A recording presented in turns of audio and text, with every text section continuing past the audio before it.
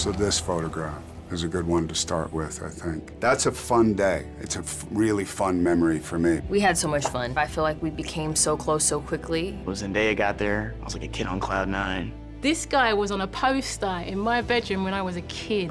Any scene with Jason Momoa makes me smile. He is the most kind, humble, warming, caring teddy bear.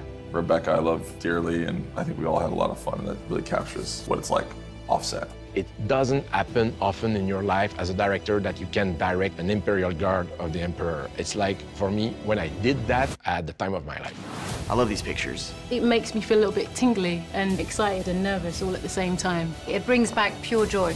Those are some some great memories.